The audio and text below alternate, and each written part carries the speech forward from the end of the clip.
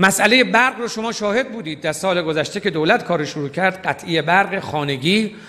بسیاری از دستگاه ها یخچال ها مردم تجهیزاتشون تو کارگاه ها که به خاطر قطع, قطع و وصل شدن برق ها میسوخت.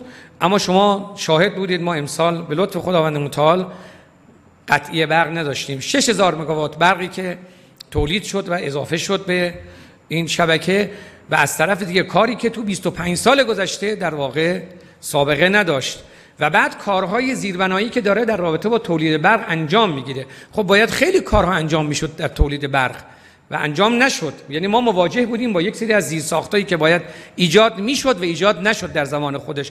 الان وقتی این نبود که ما بگیم چرا نیست. وقتی این بود باید کار کرد و ایجاد کرد.